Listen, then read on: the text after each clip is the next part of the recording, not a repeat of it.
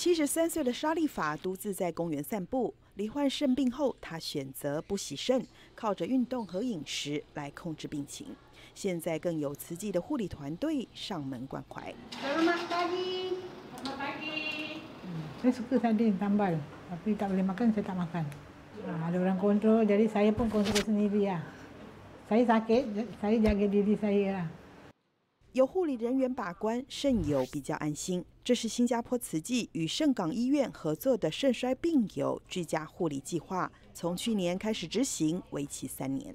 Not every patient actually will be suitable for um, dialysis. Patients who do not opt for dialysis does not mean that um, we do not provide any more care to them.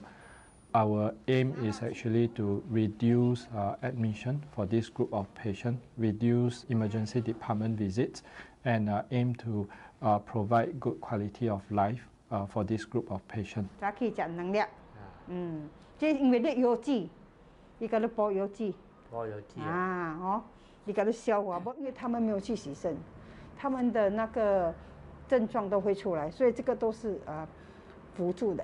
白菜不要吃啊，白菜吃了会塞啊，钙通心菜呃不可以吃。控制饮食加上按时吃药，八十三岁的胡波波也是选择不洗肾的患者。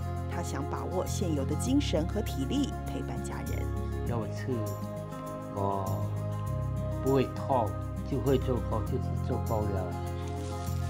新加坡每天新增五点七名肾病患者，不论选择洗肾与否，保持生活质量都是肾友们共同的心愿。